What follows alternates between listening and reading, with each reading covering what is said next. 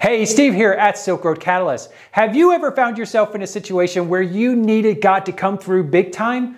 Well, I've been in that situation a number of times, and today I'm going to tell you about Russia. So let's dive into it.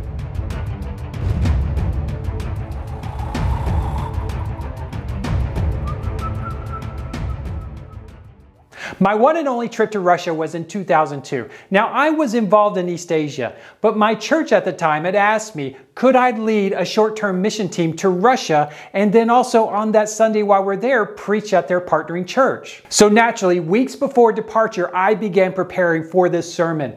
But every sermon I wrote out, I knew it was wrong and I ended up throwing it away. And as we inch closer to departure, I was getting a little bit concerned because I felt like my mind was in this fog as I was preparing.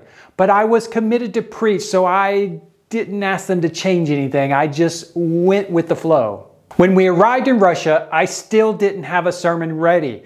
And when we arrived at the church on Sunday morning, I still didn't have a sermon ready. And when the translator came up and asked me, What are you going to be preaching about? I just kind of randomly gave her some verses and didn't say anything else to her. I just said, you know, just listen and, you know, you'll figure it out. Which is not something I highly recommend doing when you're preaching, and much less preaching with a translator.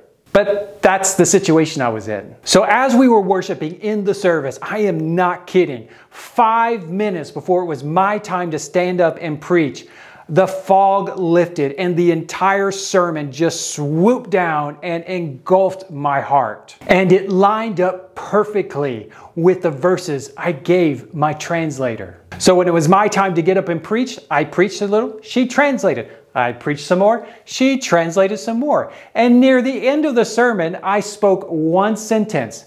And then suddenly, she just starts talking for the next 10 minutes. And of course, I'm thinking, I may not speak Russian, but I kind of got this feeling that she's saying a whole lot more than I just said because I'm sorry, you don't need 10 minutes to translate a sentence, but you know, I just let her talk. Then the service ended, and my team and I, with the missionaries we were working with that week, went out for lunch. And while we were at lunch, the missionary's wife looked at me and said, Do you want to know what your translator was rambling about the whole time near the end of the sermon?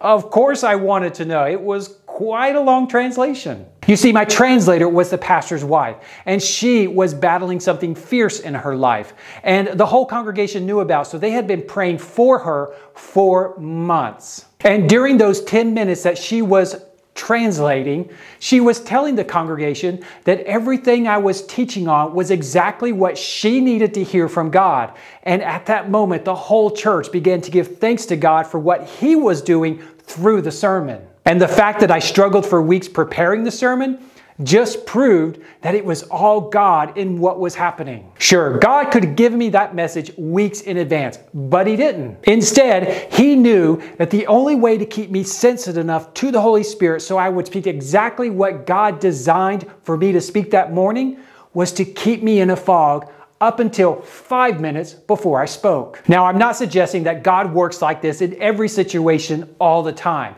but the point I'm trying to make is don't limit God. You may feel completely ill equipped in ministry, whether you're a vocational minister or a layperson, but our God is huge and He will carry you through and use you in amazing ways, just like He did with me in Russia. And all you need to do is live surrendered to Him. Hey, if you found this story helpful, I encourage you to like it, share it, and don't forget to subscribe to our channel. I'll see you next time.